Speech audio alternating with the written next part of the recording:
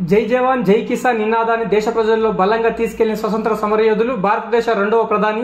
సామాన్య స్థాయి నుంచి ప్రధాని స్థాయి వరకు ఎదిగిన మహనీయులు నిజాయితీకి మారిపోయిన భారతరత్న లాల్ బహదూర్ శాస్త్రికి జయంతి సందర్భంగా ఆ మహనీయుడికి ఇదే జ్ఞాన నివాళి రమేష్ కాంగ్రెస్ పార్టీ నాయకులు జడ్చుల నియోజకవర్గం. అందరికీ నమస్తే శరణార్థులు బాగున్నారు కదా? ఇంకా ఈ కాలంలో ప్రైవేట్ ఉద్యోగం సంపాదించడమే చాలా కష్టం. అట్లాంటిది ఒక్కటేసారి పరీక్ష రాసి రెండు ఉద్యోగాలు కొట్టడం అంటే సామాన్య విషయం కాదు. ఆ కొట్టిన ఉద్యోగాలు కూడా ఓపెన్ కేటగిరీలో జిల్లాలో ప్రథమ ర్యాంకులో కొట్టడం విశేషం. ఇంకా ఎక్కడ ఎవరు విషయం తెలుసుకుందాం రండి. పాలమూరు జిల్లా జడ్చర్ల మండలం కోడుగల్లు గ్రామానికి చెందిన శ్వేత మొన్న జూలైలో జరిగిన డిఎస్సి పరీక్షలు రాసింది. రిజల్ట్ వచ్చినాక చూస్తే రెండు ఉద్యోగాలు సంపాదించింది. పెళ్ళై పిల్లలైనాక కూడా ఉద్యోగం సంపాదించడం అంటే సామాన్య విషయం కాదు. కొందరు చిన్న చిన్న దానికి అలిగి ఇబ్బంది పడి బాధపడి ప్రాణాలు తీసుకుంటారు. ఇంక పిల్లలైన తర్వాత కూడా కుటుంబాన్ని చక్కబెట్టుకుంటూ ఉద్యోగం సంపాదించడం అంటే చిన్న విషయం కాదుల్లా. నాన్న కోరిక టీచర్ ఉద్యోగం సంపాదించడం సంపాదించాను నాన్న కోరిక నెరవేర్చానంటున్న శ్వేత మాటలను విందాం ఏం చెప్తుందో. ఎంఏ బీఈడి చేశాను. డిగ్రీ చదువుతుంటేనే నాకు వివాహం అయింది ఆ తర్వాత పిల్లలు పుట్టిన తర్వాత మళ్ళీ నేను TET TET one two set qualify అయ్యి డిఎస్సి ప్రిపరేషన్ కొనసాగించాను. ఈ దీని వెనక నా భర్త ప్రోత్సాహం ఎంతో ఉంది. ఇంకా నేను గవర్నమెంట్ జాబ్ తెచ్చుకోవాలి అనేది మా నాన్న కోరిక.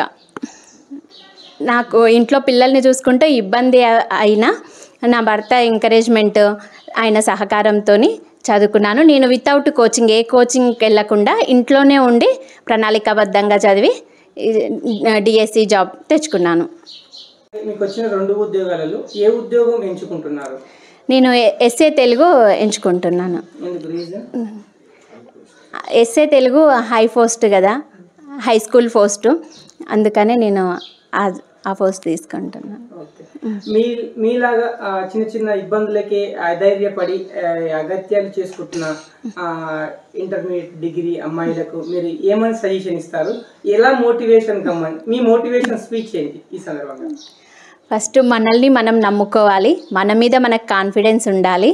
ఇంకా పక్క వాళ్ళనే మాటల్ని ఏమి పట్టించుకోవద్దు. వివాహమైన పిల్లలు చిన్నగున్నా సరే వాళ్ళకి కేటాయించే టైం వాళ్ళకి కేటాయించి మనకు మిగిలిన టైంని సరిగ్గా యూటిలైజ్ చేసుకుంటే ఎవరైనా ఉద్యోగం సాధించవచ్చు మనకున్న టైంని మనం ప్రణాళికాబద్ధంగా డివైడ్ చేసుకొని మనం ఫ్యామిలీకి కేటాయించే టైం ఫ్యామిలీకి మనం చదువుకునే టైం మనం చదువుకోవడానికి అట్లా డివైడ్ చేసుకొని చదివితే ప్రతి ఒక్కరు జాబ్ తెచ్చుకోగలరు.